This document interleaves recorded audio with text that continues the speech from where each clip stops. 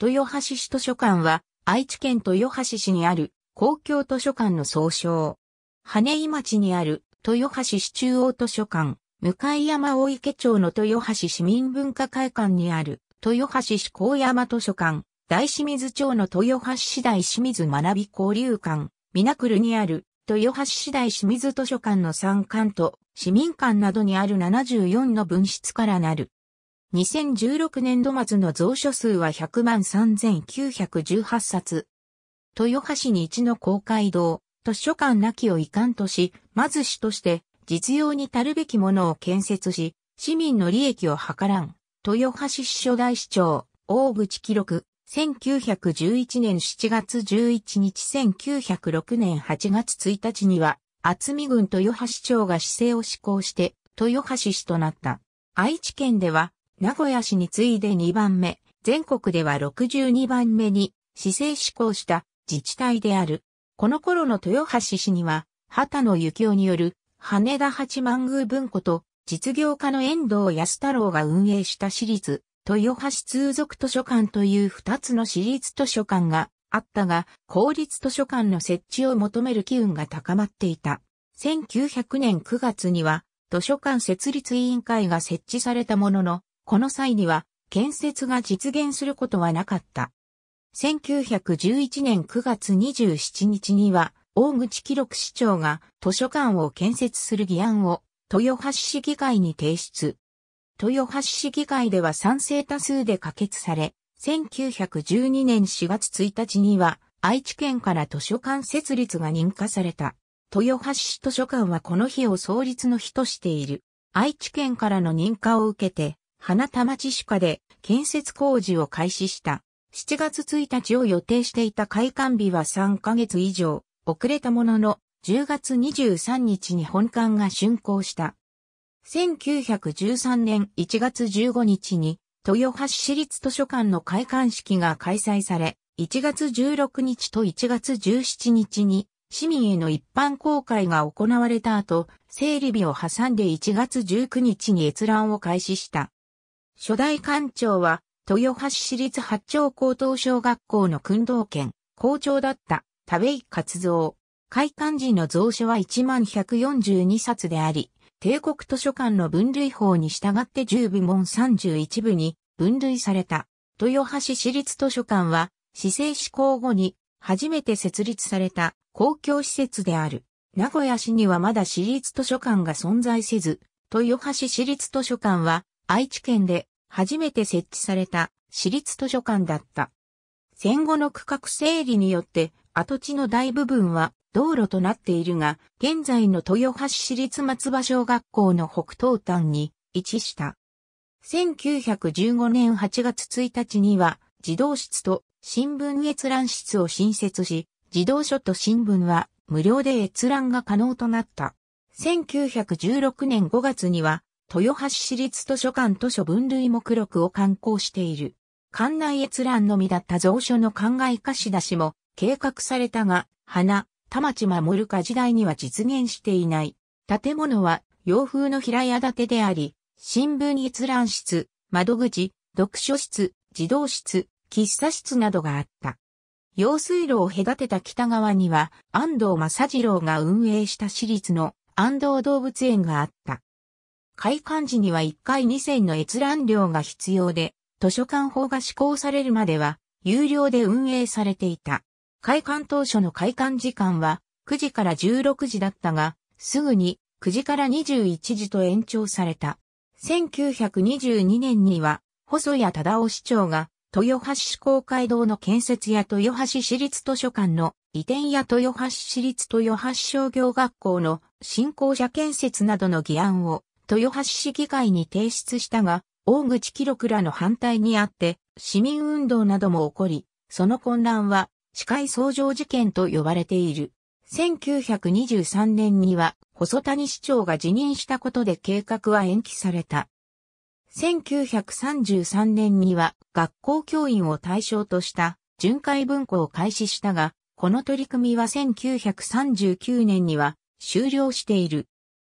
西八丁時代に隣接地にあった豊橋市公会堂1931年には鉄筋コンクリート造りの豊橋市港街道が竣工していたが、1936年には豊橋市港街道の東隣である西八丁32番地に図書館を移転させる議案が豊橋市議会で可決された。1938年に3月30日に竣工式を行い、4月1日から移転作業を行い、5月2日に開館した。鉄筋コンクリート造り3階建てであり、3階部分には貸しホールとして利用できる行動が設けられた。開館時間は9時から20時であり、休館時代と同じく閲覧料が必要だった。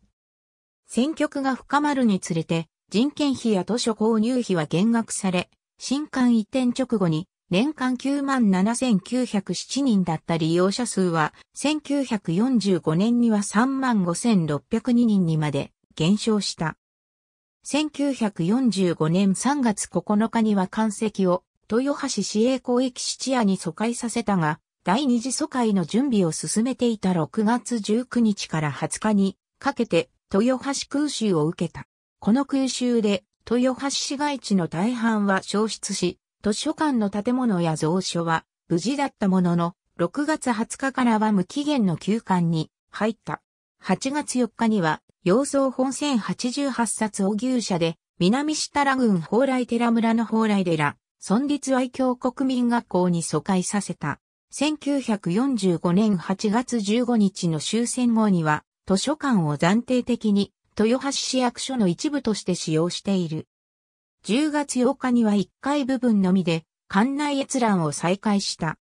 1946年1月には2階部分を使用していた豊橋市役所学務課と振興課が移転し、また3月には豊橋市営公益質屋と愛嬌国民学校に疎開させていた蔵書を戻し、本格的に閲覧を再開した。戦後には連合国軍総司令部、民間情報教育局によって外国語書籍による CIE 図書館が設置され、豊橋市には名古屋 CIE 図書館の分室が設置された。1948年4月20日には、旧制な庭高等学校教授などを務めた市川博士が初代専任館長に就任し、図書館運営委員会の設置、児童室の再開、屋形則の整備などを行った。同年7月15日には、休館時代以来10年ぶりに児童室が復活し、1949年4月1日には一般市民に対して考え貸し出しを開始した。1950年に図書館法が制定されると、1951年には豊橋市立図書館条例を制定して閲覧料を撤廃した。1949年度には図書館運営委員の要望によって小中学校を回る巡回文庫を開始し、1950年7月には成人団体を対象とする巡回文庫も開始した。図書館が手狭になったため、豊橋市立狭間小学校校舎を改装して開館した豊橋市文化会館3階に児童室を移転させた。富本町の豊橋市消防署南部出張所の北側にあった旧豊橋市役所出張所の建物を利用して愛知大学、愛知県立自習館高等学校、愛知県立豊橋工業高等学校、小中学校の学生などを対象とした南文館を開設した。1951年7月7日に児童分室と南文館の共同開館式を行っている。それまでの水筒方式は閉花式であり、1952年には全蔵書を開花式に変更したが、1954年には貴重本屋は総本など一部を閉花に戻している。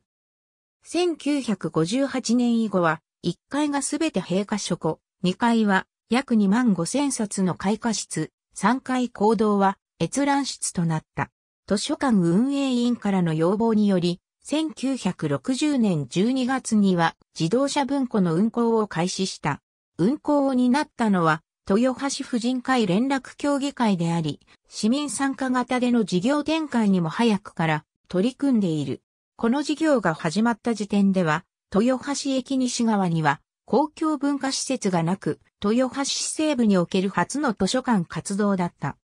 車両には約700冊を積載するプリンスクリッパーが用いられ、希望号と名付けられた。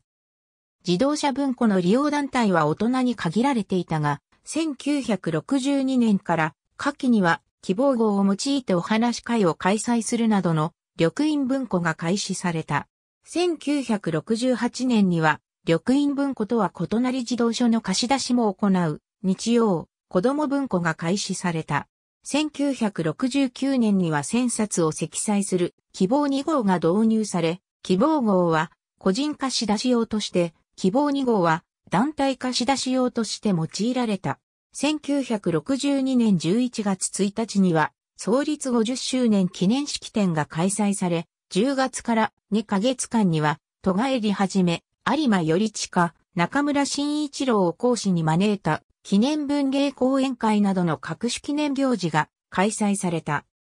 開館から24年が経過した同年時点の蔵書数は9万冊を超え、豊橋市公会堂の一室を新聞書庫として借用しなければならないほど手狭になっていた。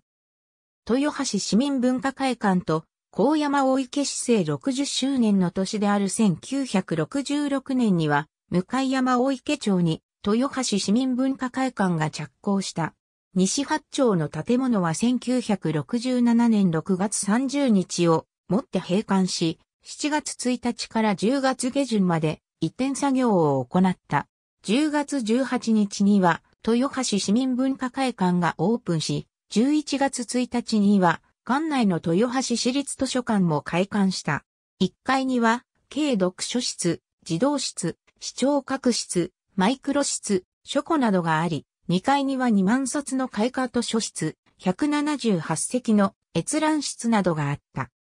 積層式書庫の収容能力は15万冊だった。1970年からは、ふるさとの文学めぐり、蒲郡豊橋子ども読書交流会、古文書講習会の各種行事を開催している。1969年4月には、貸し出し期間を7日間から15日間に伸ばし、1977年4月には、貸し出し冊数を2冊から4冊に増やした。1974年には、市民館への配本を開始した。また、希望図書購入制度や、身体障害者に対する郵送貸し出し制度などを開始し、高齢者向けの末広文庫を設置した。図書館に対する需要に応えるために、1981年9月には、羽、井町の下水処理場跡地に新図書館が着工し、1982年10月末に竣工した。11月からは17万冊の蔵書の移転作業を行い、1983年2月23日に豊橋市中央図書館が開館した。開館記念式典では、河野義勝元国立国会図書館長が、都市づくり、文化、そして心と題した講演を行っている。総事業費は15億6017万円。従来の条例上の組織名は、豊橋市立図書館だったが、豊橋市中央図書館の開館を機に、豊橋市図書館に改めている。開館と同時にコンピュータを導入しており、愛知県では初めて漢字システムを取り入れたコンピュータシステムだった。2回展示コーナーでは開館記念展覧会として、小栗風陽、富安風生、丸山薫を題材として、豊橋近代文人展を開催し、以後は1年に1回の頻度で、シリーズ化して、郷土近代文人展が開催された。1974年からは、市内に多数の市民館を開館させて配本所としており、1983年には自動車文庫サービスが廃止された。1984年に図書館計画施設研究所が刊行した図書館建築は今では中小図書館が果たすべき報酬を盛り込んだ理想に近づいた施設として紹介された。休館は各市民館への配本センターと1万3000冊の開花の閲覧、貸し出しの役割を与えられ、同年4月12日に図書館機能を再開した。1999年には公式ウェブサイトを開設した。2005年には石巻、二川、南両地区の市民館と中央図書館をコンピュータネットワーク化し、また中央図書館に電子情報コーナーを開設した。豊橋出身のジャーナリストである村井玄斎が明治時代に刊行した食道楽に登場するレシピを豊橋調理製菓専門学校の協力で再現し、2016年1月には食道学豊橋版を刊行した。2006年には豊橋と民話を語り継ぐ会が豊橋市の民話集である片見の鈴木を刊行しており、2016年7月には豊橋市図書館がこの民話集を再販した。同年には Facebook アカウントを開設している。現在、3つ目の地域図書館として街中図書館の整備計画が進められている。個人文庫、編集向山図書館は愛知県豊橋市向山大池町にある豊橋市民文化会館内に設置された文館である。2015年、大清水図書館の開館に合わせて配本センターから高山図書館に名称が変更された。貸出券は他の図書館と共通で使うことができる。大清水図書館は愛知県豊橋市大清水町にある大清水学び交流館、ミナクル内に設置された文館である。2015年のミナクルのオープンとともに開設された。貸出券は他の図書館と共通で使うことができる。豊橋市は現在、駅前大通2丁目地区の民間主導による市街地再開発事業で建設される再開発ビル内に街中図書館の整備を進めている。街中図書館は文館として2021年度中に開館予定。蔵書数は10万冊程度としている。豊橋市図書館には74の分室があり、ネットワーク館に位置づけられている8施設には、図書館、コンピューターシステムが設置されている。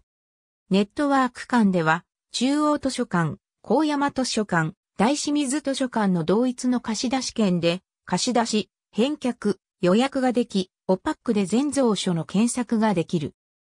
2017年度末時点でネットワーク間8巻の創造書数は6万164冊であり、2017年度の総貸出数は21万5582冊だった。地区市民関東23巻の創造書数は9万909冊であり、総貸出数は24万478冊だった。航空市民関東51館の創造書数は47,737冊であり、総貸出数は17,400冊だった。ネットワーク館、編集地区市民館、編集航空市民館、編集、ありがとうございます。